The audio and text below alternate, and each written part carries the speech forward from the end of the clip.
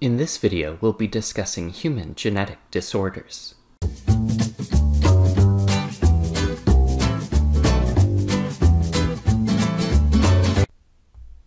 Gregor Mendel's principles apply to the inheritance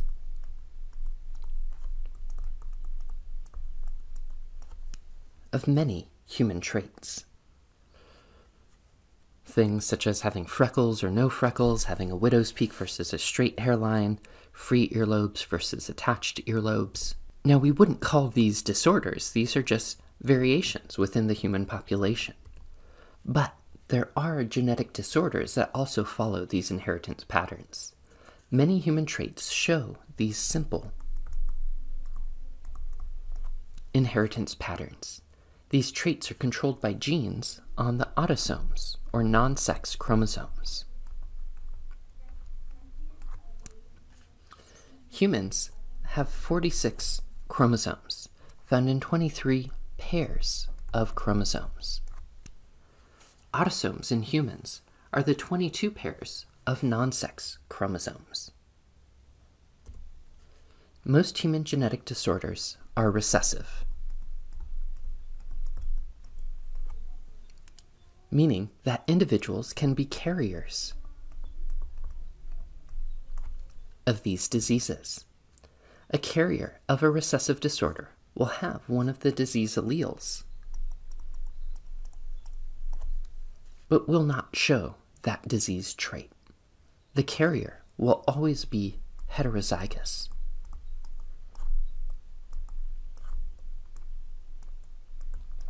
And often these carriers will have no idea that they are carriers for this genetic disorder. Now, genetic diseases are different than other types of diseases in that genetic diseases are not contagious.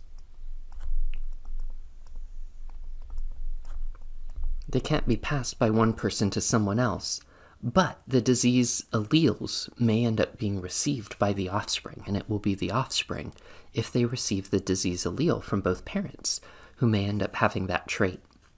So here we're looking at a particular case of genetically caused deafness, and it's caused by a recessive allele. Both of the parents are heterozygous, yet they have normal hearing. When we look at the possible offspring from this cross, it's possible that they will have a child with normal hearing, just like the parents. But if that child receives the recessive allele from both parents, they then will be deaf. Now, not all human genetic disorders are recessive. Some human genetic disorders are dominant.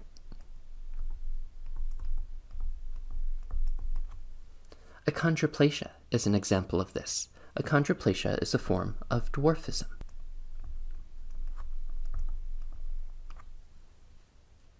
Polydactylism is another dominant genetic disorder.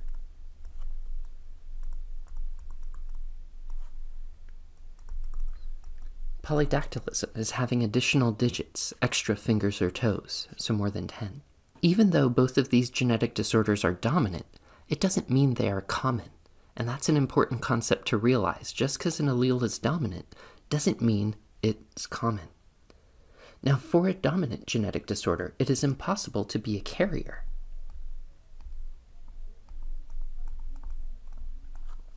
Because if an individual has even one of the disease causing alleles, they will show that trait. And here we see an image of a therapeutic surgeon who has achondroplasia, and he specializes in surgeries to deal with some of the consequences of this genetic condition. If a dominant disorder is lethal, and it, it is expressed early in life, that organism is not likely to survive to pass it on to the next generation because they won't have offspring at all. The disease will only be caused by new mutations. Only if the disorder is expressed late in life will that individual survive to have offspring. And this is the case with Huntington's disease and certain forms of Alzheimer's, where it is a lethal autosomal dominant disease which expresses their symptoms. Late in life. Now I'd like to spend some time talking about the sex chromosomes. They determine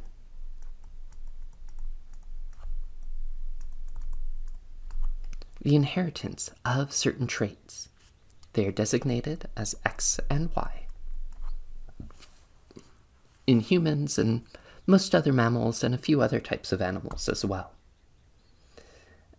And they typically define an individual's anatomical sex. As mentioned in the previous video, there is a recognition of exceptions and differences, and things aren't always as simple as presented in this introductory lecture. When it comes to anatomical sex determination, males are the heterogametic sex.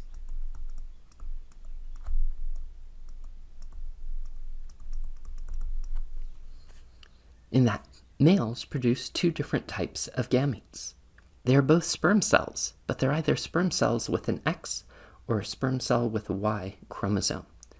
And depending on which sperm cell fertilizes the egg, the offspring will either be anatomically male or anatomically female. It turns out that there are several genes on the X chromosome, and many of them have nothing to do with anatomical sex. So we call these X-linked genes. They are any genes located on the X chromosome. And as I had mentioned, majority of these have nothing to do with anatomical sex, orientation, or gender. Males have only one X chromosome, and so if a mother is heterozygous for an X linked gene, then 50% of sons from carrier mothers are expected to be affected. Females rarely get these diseases because they must receive two affected X chromosomes, one from each parent. And this would also mean that the father would have to be affected by this disorder, and the mother would have to at least be a carrier. So there are a number of human conditions which result from X-linked or sex-linked genes. Red-green color blindness is an example. It is characterized by a malfunctioning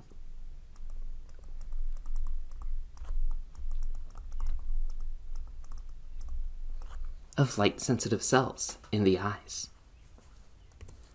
Hemophilia is another. Hemophilia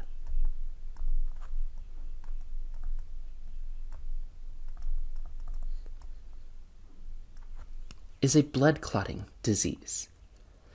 The mutation that causes hemophilia occurs on the X chromosome, and it is recessive in females. Here we can see a family pedigree of Tsar Nicholas II of Russia, and we see that his son Alexis had hemophilia, and so passed away relatively early in life. Tsar Nicholas did not have hemophilia, and so we have to follow this path back, and we can see several generations this allele was carried within females of the family. They did not have the disease. Only once a male inherited that affected X chromosome did those symptoms show up. In our next module, we'll be learning about how DNA can act as the genetic material.